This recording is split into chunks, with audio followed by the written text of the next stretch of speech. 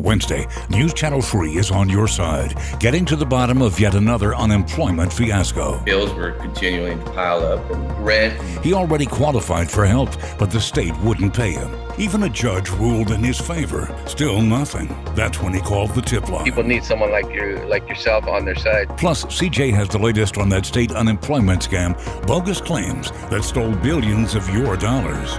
The only investigative reporter on local television, Wednesday.